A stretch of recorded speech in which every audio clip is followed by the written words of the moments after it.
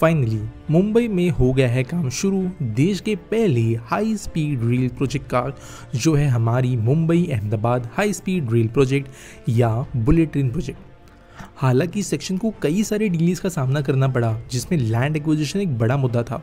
लेकिन इन सब चीज़ों को सॉर्ट आउट करते हुए एन ने फाइनली काम शुरू कर दिया है इस प्रोजेक्ट के महाराष्ट्र सेक्शन के अंदर कई सारे अलग पैकेजेस में।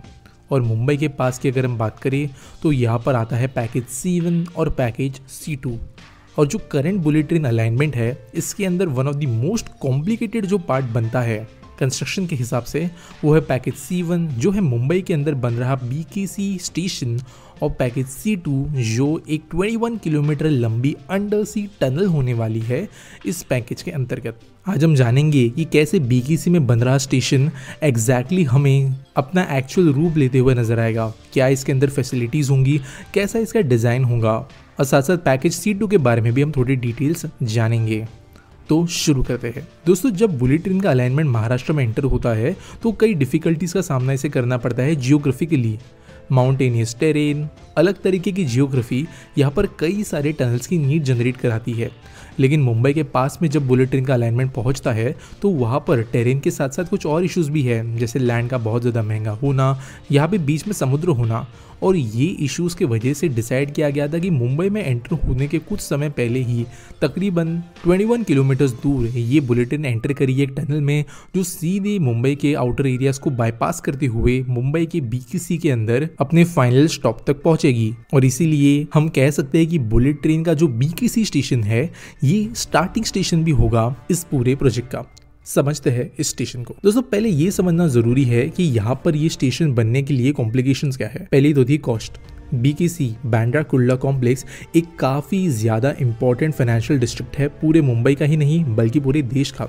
यहाँ की लैंड वैल्यूज़ महँगे होने की वजह से यहाँ पर ये प्लॉट अक्वायर करना एक बहुत बड़ा फाइनेंशियल टास्क था।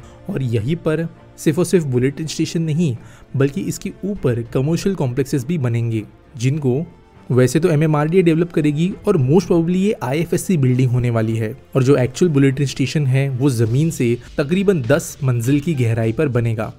समझते हैं कैसे? पहले तो स्टेशन को बॉटम अप मेथड से बनाया जाने वाला है। इसका मतलब ये कि जो मैक्सिमम डेप्थ होगी, तकरीबन 32 मीटर्स की, वहाँ तक गड्ढे बनाए जाएँगे। जिसके बाद में यहाँ पर सबसे बेस लेवल का जो स्टेशन का काम है, वो पहले किया जाएगा। जिसके बाद में धीरे धीरे ऊपर की मंजिलों की तरफ़ काम होगा ग्राउंड लेवल तक। देखते हैं कि इस बीकेसी स्टेशन के अंदर क्या क्या चीज़ें की जा रही है। वीडियोस में आप देख सकते हो कि एक्सकवेशन बहुत ज़्यादा स्पीड में चल रहा है। यहाँ पर सीकेंड पाइलिंग का इस्तेमाल किया जा रहा है सपोर्ट के लिए।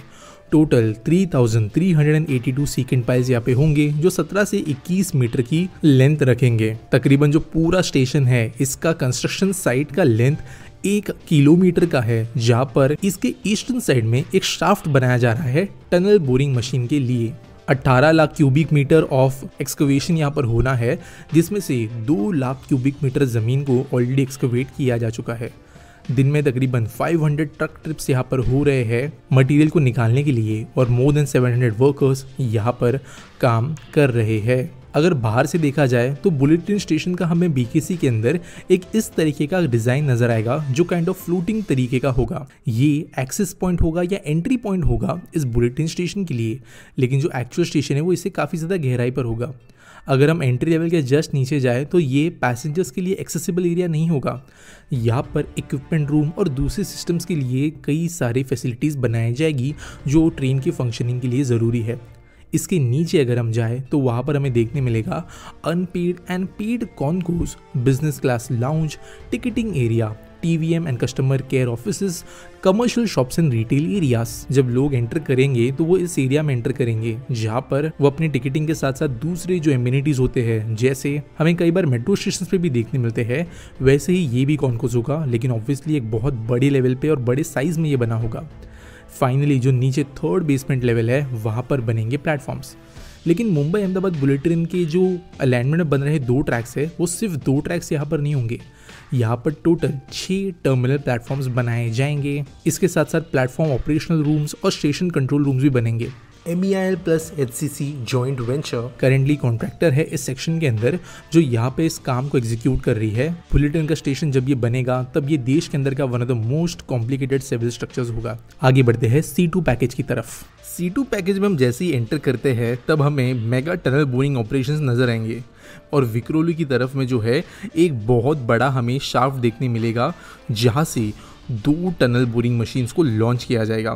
ये tunnel boring machines opposite direction में अपना काम शुरू करेगी। एक बी की सी की डायरेक्शन में और दूसरी टनल बोरिंग मशीन यहाँ पर समुद्र के नीचे से टनलिंग करते हुए पहुंचेगी नवी मुंबई साइड जहाँ पर घनसोली के पास में हमें देखने मिलेगा एक ऑडिट टनल और सावली शाफ्ट जहाँ से एक और टीबीएम जो है वो फिर से समुद्र की तरफ़ में टनलिंग शुरू करेगी, जो फाइनली विक्रोली की तरफ़ से शुरू होने वाले टनल बोरिंग ऑपरेशन को बीच में जाकर मीट करेगी समुद्र के नीचे। और ये जो पूरी टनल है, शील फाटा के पास में बाहर आएगी, जिसके बाद में ये लाइन कंटिन्यू होगा वायडक्ट्स के ऊपर।